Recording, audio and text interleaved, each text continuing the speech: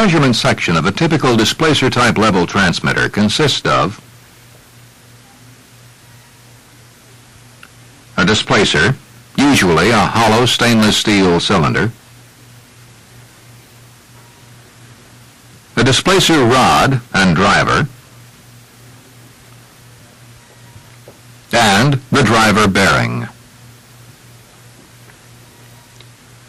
The knife edge bearing eliminates friction and assures a positive center of rotation for the displacer and torque tube. A female socket on the torque tube fits over the displacer rod driver. The torque tube assembly provides the means for transmitting the motion from the displacer to the control mechanisms. The torque tube assembly consists of the torsional spring, which twists with displacer movement, and a rotary shaft, which also twists with the torque tube. The shaft is welded inside the tube.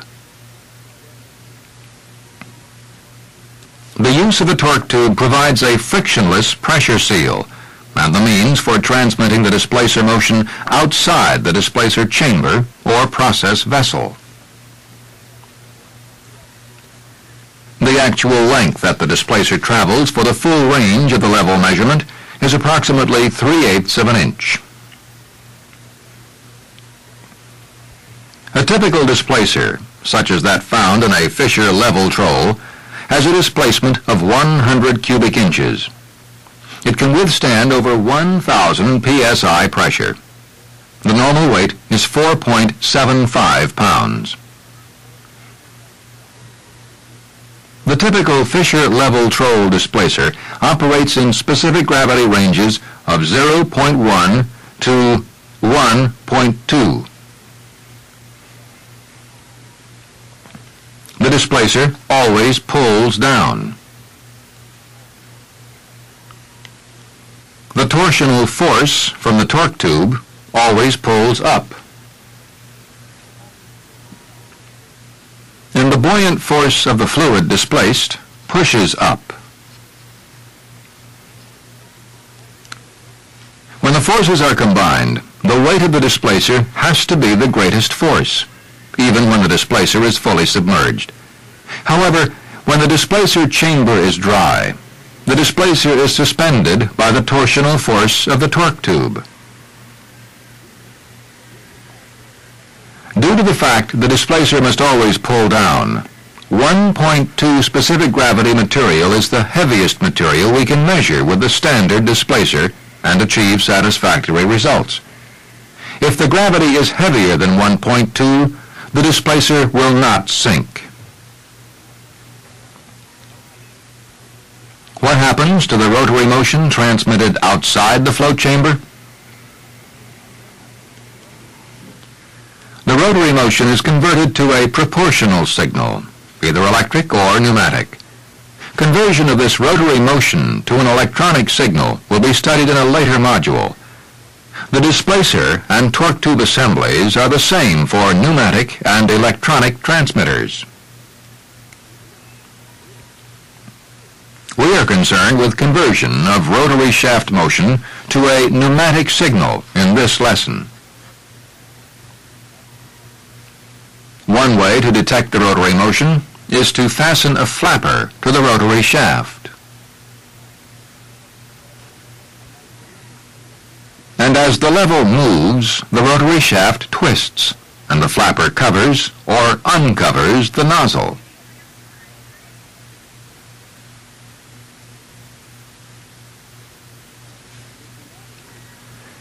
If we add a relay, we have a pneumatic level transmitter.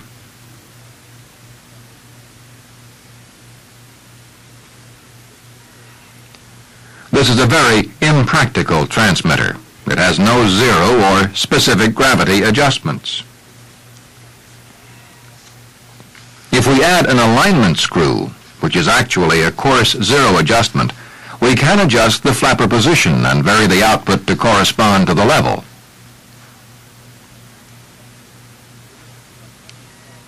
would have to make such an adjustment if the level was 50%, but the transmitter output was 25%.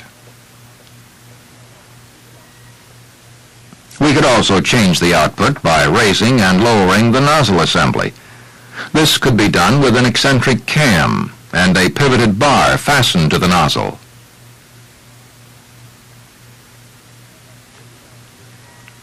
This adjustment is called the fine zero adjustment. The two adjustments do the same thing. The fine zero adjustment is used to make small changes.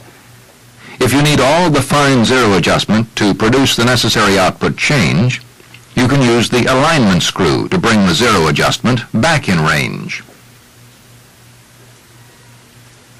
This is a typical zero adjustment. This is the alignment screw. Now work exercise 1 in your workbook.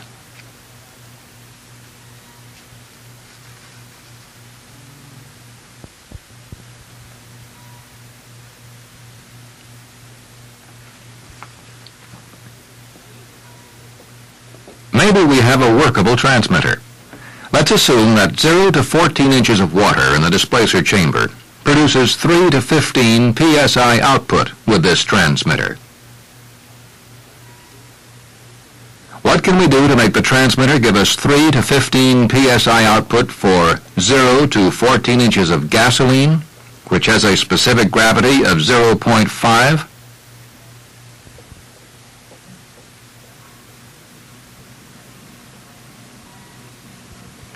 The flapper movement produced by the 0 to 14 inch level of gasoline would be half that produced by the 0 to 14 inches of water, since the specific gravity of gasoline is 0.5, and the 0.5 specific gravity will buoy the displacer up only half the amount the water does. We must have some way to compensate for the differences in total flapper movement due to the different specific gravity materials that can be measured.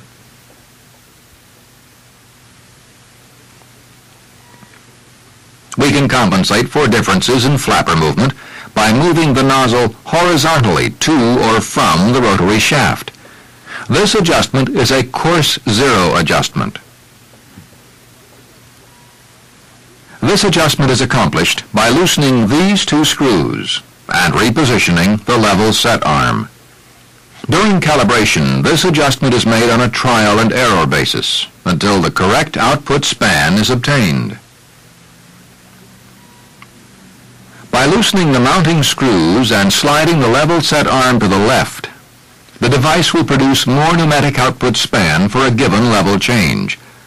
The nozzle will be further from the rotary shaft.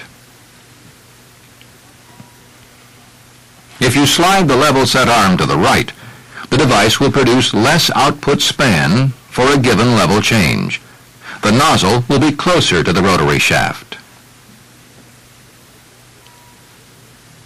Can also compensate for the differences in flapper movements by moving the nozzle vertically to or from the flapper. This is not the same as the zero adjustment. Let's examine the construction of the nozzle and Bourdon tube to see how this is done. The nozzle pressure is conveyed from the nozzle tip to the relay by means of a small tube inside the Bourdon tube. If we apply a pressure to the Bourdon tube, it will try to straighten. This will move it farther from the nozzle.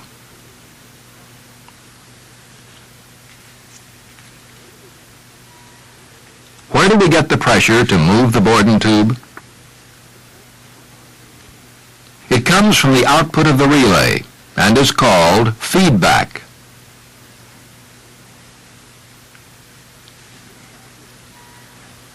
Feedback is a portion of the output signal used to balance the input signal. This particular feedback is called negative feedback because it opposes or counteracts the input signal. Negative feedback can be called sensitivity reduction because when you have more negative feedback, you have less sensitivity. How do we regulate the feedback signal? The installation of a three-way valve will serve the purpose.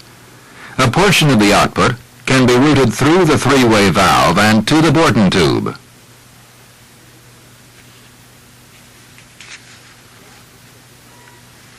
The output signal goes in the three-way valve. The output can be blocked depending on where the knob is set. Can all go to the Bourdon tube, or it can split, some air going to the Bourdon tube and some out the bleed.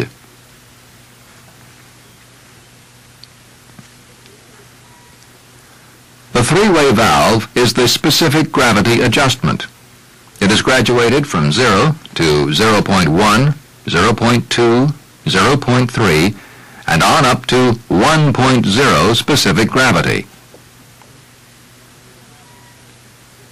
The specific gravity adjustment determines the amount of feedback that enters the Bourdon tube.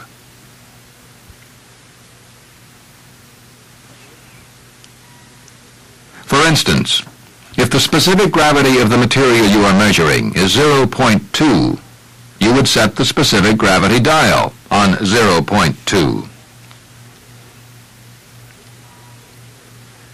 Assuming our level is 0 to 14 inches equals full scale, this means that we want the flapper movement caused by a rise from 0 to 14 inches of 0.2 specific gravity material to equal 3 to 15 psi output.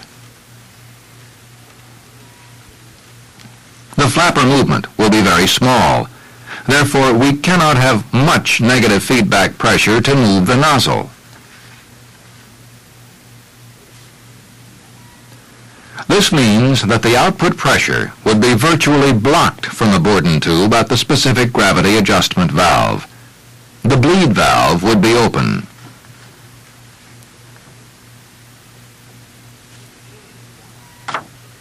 If the fluid is water, the flapper movement will be greater than the previous example. Therefore, there must be more feedback to move the nozzle away from the flapper. Specific gravity adjustment is set on 1.0. The bleed is closed, and the full output goes directly to the Bourdon tube. The relationship between flapper and nozzle remains the same for a 3 to 15 pound pressure change. If it takes one thousandth of an inch to make a 3 to 15 pound change for 1.0 specific gravity material, will take one thousandth of an inch to make a 3 to 15 psi change for 0.2 specific gravity material. The only difference between the measurement of 0.2 and 1.0 specific gravity material is the amount of feedback, or sensitivity reduction, used to balance the output to the corresponding input. On a rising level, the primary movement, or the rotary motion, covers the nozzle. The feedback tends to uncover the nozzle. The amount of the primary movement is constant, dependent upon the specific gravity of the measured fluid. The feedback signal is a variable. Its action is opposite that of the flapper. If the flapper covers the nozzle, feedback tends to uncover it. And if the flapper uncovers the nozzle, feedback tends to cover it. This primary motion opposed by the feedback occurs whether the level is rising or falling. It occurs at all points through the 3 to 15 psi range. Artwork illustrations have exaggerated the flapper and nozzle relationship for clarity.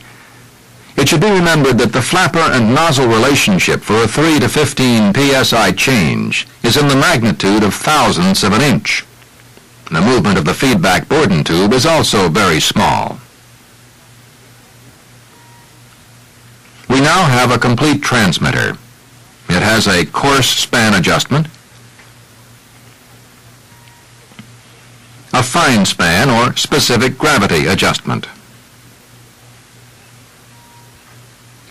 The transmitter has a coarse zero adjustment or alignment screw, and it has a fine zero adjustment. Now work exercise 2 in your workbook.